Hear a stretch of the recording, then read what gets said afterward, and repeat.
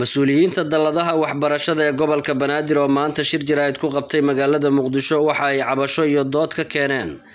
Natiijada imtixaanaadkii dugsiyada sare ee sana dugsiyeedka labada kun iyo labaatan ilaa labada kun koob iyo labaatan ee dhowaan la shaaciyey madaxda dalladda waxay carabka ku dhufteen inaysan u cuntamaynin inaysan natiijooyinka ardayda ee la soo bandhigay ka turjumaynin waaqiciga aqoonta ardayda wax ka barata dugsiyada ku yaalla gobolka banaadir iyagoo arrintaas sii ambaqaadayay waxay ku nuuxnuuxsadeen inay waxbarashada ardayda ku sugan gobolka banaadir aysan u dhigmin kuna heer ahayn gobollada kale ee dalka. Waa sida hadalka loo dhigay.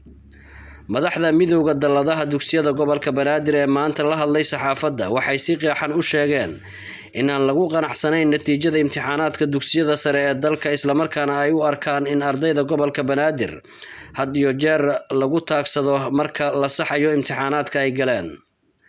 Gudoomiyaha midowda dugsiyada gobolka banaadir ustaad cabduqaadir maxamed xasan ayaa warbaahinta u akhriyey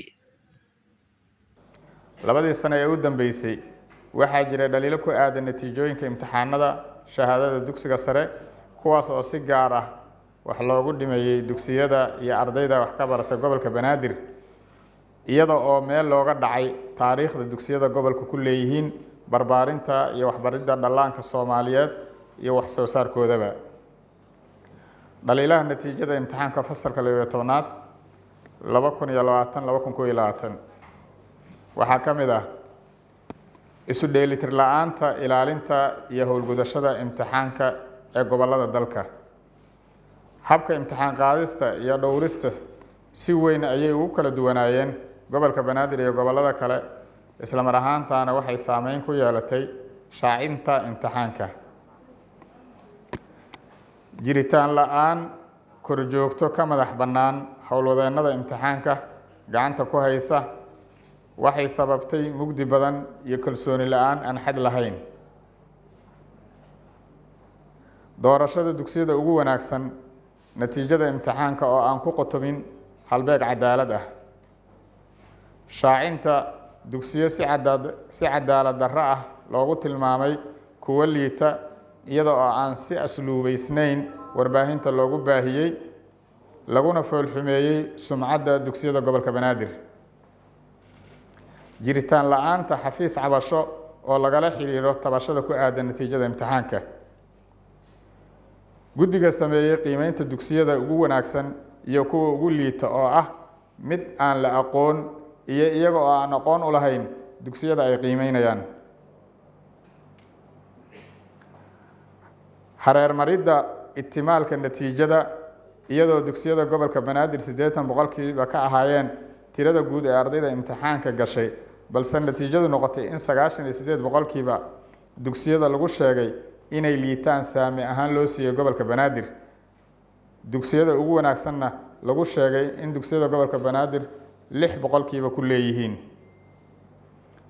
Xarumo badan oo ka mid ah kuwa imtixaanka lagu gelayey oo ku yaalla gobolka banaadir oo falal aan wanaagsaneyn lagula kacay ardayda imtixaanka ku gelaysay kuwaas oo ay geysteen ciidamadii amniga qaabilsanaa iyo kormeerayaashii xarumahaas ardaydana kula kacay jirdil argagixin handadaad iyo ka mamnuucid imtixaan oo aan sababo lagu qanci karo lahayn. Gudbinta dhaliilaha kor ku xusan ee jiray xilliga imtixaanka oo aan waxba laga qaban. Dhaliilo guud.